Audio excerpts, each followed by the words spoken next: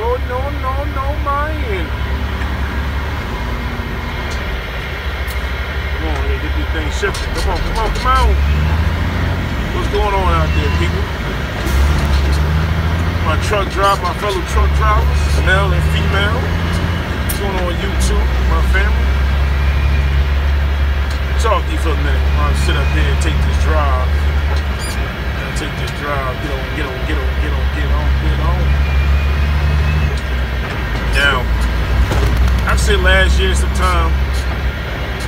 Last year sometime around early, late July, August, I was sick as hell. I mean, I was sick. Now, I think, my opinion, I think this coronavirus was already here. I think now the CDC want to expose it now, but I think it was already here. You know, late, early, late summer, early August. You know, late July, early August. Now check it out. Now prior one week, I was sick for three weeks. I thought I was about to die. But I never even told my family this, but I was talking to my daughter about it. But boy, and they ended up catching the same thing, but I don't know if they got it from me, but they had the same symptoms. I woke up one morning, you know, I felt, I had a high fever, like 120 fever. Throat was itchy and scratchy. I got hoarse. I couldn't even speak, speak well. Couldn't even hear myself talk. So I just started taking like tea with halls. Like you know how we do. Tea with halls and lemon. Tea with ginger, lemon. So I could coat my throat. Prior that week, I was hungry. So I went over to Sonic, right there on 1 and 9. Sonic on 1 and 9 in Elizabeth. You might know anything about, you know, Elizabeth, New Jersey. I went to Sonic. Now, mind you, right next to Sonic, they just built a new Wawa. But I should have went to Wawa and had some soup. I was acting all hungry. So let me go grab me something to drink. So that's what I did. Went over there, grabbed me something to drink, and um, yeah, don't, don't hate on my steering wheel, but my steering wheel is my shot. So I went over there, grabbed me something to drink. I grabbed a hot dog. Hold on, one second. Let me take this off. So I grabbed a fried hot dog, whatever they call it over there. So I had that. So it left a bad taste in my mouth. I mean, a really bad taste in my mouth. Like the food didn't agree with my stomach, so it left a bad taste in my mouth. So I was going up the back roads. There's a big guy up there. He got his own little right there Washington, New Jersey, 78, exit 17, get on 31 there, and take 31 right out.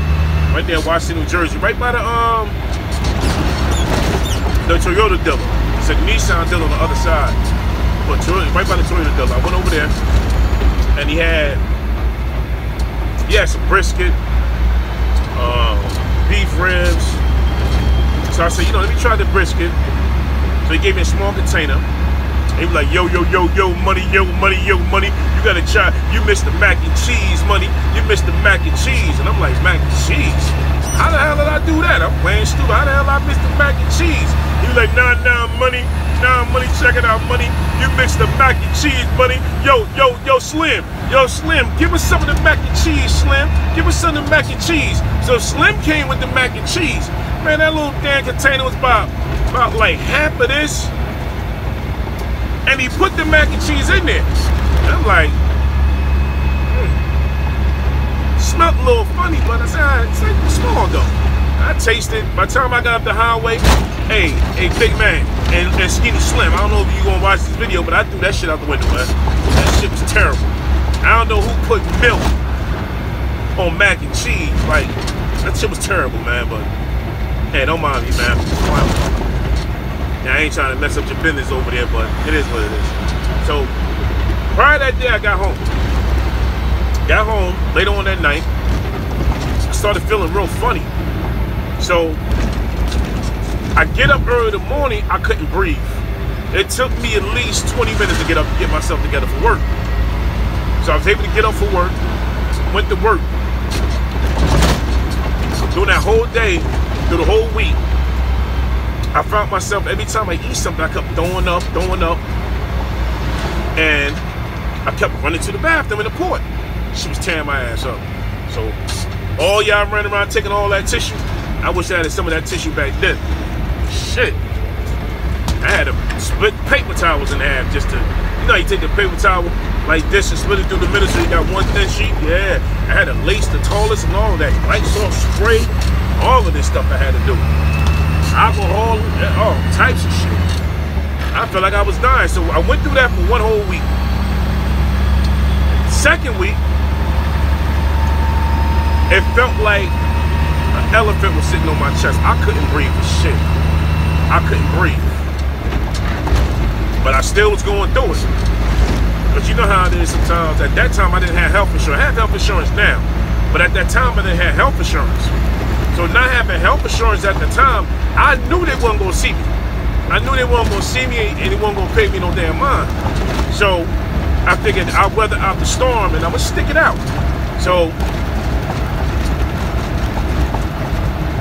end of the end of that week, it just got worse. It didn't get better, it got worse.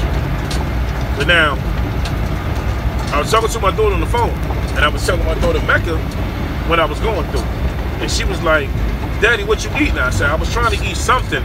So I went ahead and got me a salad, put some guacamole in it. Oh, that shit killed me. I was throwing up yellow stuff. I don't know if it was the line. My friend told me it was the lining on my stomach, but I was throwing up yellow stuff for the. I mean, just for the last four or five days, it was coming out. Every time I went to the bathroom, it was in the stool. Every time I was laid on the couch, I tried to stand up, it was just throwing up all over the place. I couldn't hold nothing down. I then lost 10 or 12 pounds. That week, I, I, I know I lost 10, 12 pounds. And I know I need to lose some weight. But I damn sure ain't want to lose weight like that. I ain't want to lose weight sitting over some toilets, pooping and throwing up in the tub. Because the tub is right by my toilet, so just pooping and throwing up in the tub.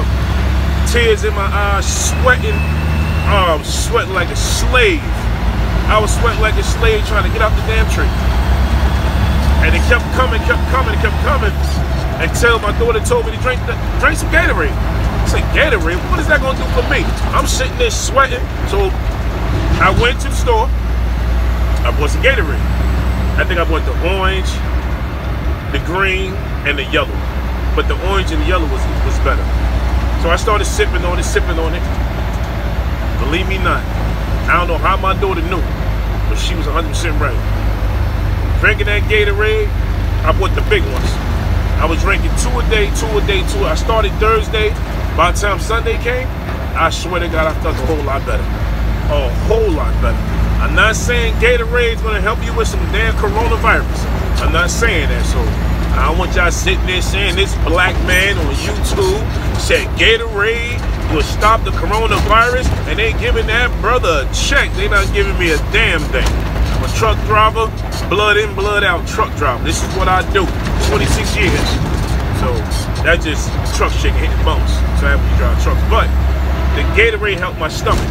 So what I'm trying to say is whatever home remedy you grew up on, as far as soup, chicken, fish, eating broth, taking your vitamin C, vitamin D, vitamin E, taking, I guess some people love sea moss, whatever you can take, oatmeal, to help coat your stomach and get you through this so you can weather out the storm, take it. Don't worry about CNN talking about no water with vitamin C. It ain't to protect you. People ain't saying that vitamin C and E to help build your immune system is going to protect you. What they saying is it's going to help you fight it. It's definitely going to help you fight the virus. So whatever you can do to help you fight it, take it. Because like I said, a lot of black people and a lot of, not just black, but a lot of people, white, Hispanic, foreigners, Caribbean blacks, whatever, whatever your nationality is, whatever you can take that you, your grandmother grew up, your grandmother made to help you weather out the storm and you grew up off, take it. Whatever fix you got, take it. Because we can't let this coronavirus take us out. We all in this shit together. You hear me? We all in this shit together. I'm a truck driver. And I know a lot of truck drivers like myself is out here making things happen. And we out here putting our life on the line. I could catch this shit any day, any moment, any second. But I'm out here trying to make make it happen for y'all. Trying to move this freight up and down the highway. And this is what we doing. So all I can say is y'all take care of yourself, take care of each other, because all you got right now is family in that house. So take care of your family, take care of each other, and y'all be safe out there. I'll be getting back at y'all later. I'm out of here. Peace.